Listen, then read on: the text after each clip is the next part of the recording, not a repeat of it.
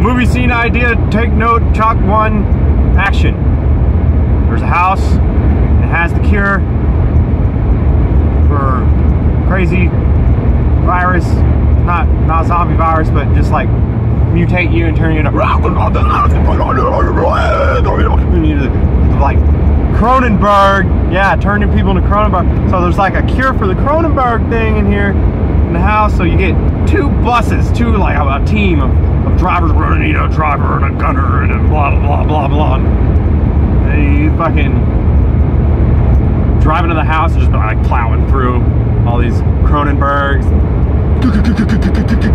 And you pull up on both sides of the house so you can like block them out, but there's too many Cronenbergs and they're all they're swarming the buses and they're all they're coming in and they're and then they're breaking into the bus, it's ripping the top off.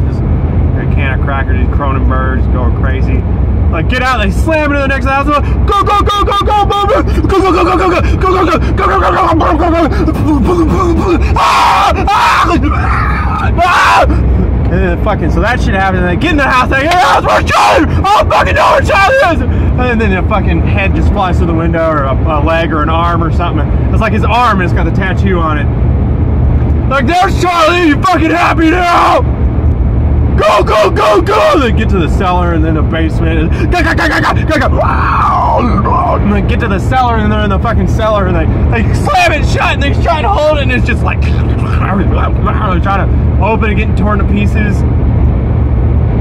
Like, help me, what are you doing? Help! And it's a narrow stairwell, so he takes some iron pipe and iron pipes that bitch up and now they're in a cellar and they, and they got regroup and they see a, a, body in there, like somebody else had come in there and tried to regroup, but there were wood planks instead of the iron ones holding the door closed, and they just managed to kick it open. Then they put the metal planks, or the metal pipes in there, and that was unbreakable. But the guy who died inside that they found was the guy that blocked out the Cronenbergs before he found this house, and he's got the cure for the Cronenberg shit in there. And, and they see it, and it's all busted. It's broken, the vial. It's smashed, and they're like, no! No! Maybe maybe Calculon's there and he's going, Yes! That shit. There you go. Tip of the iceberg right there.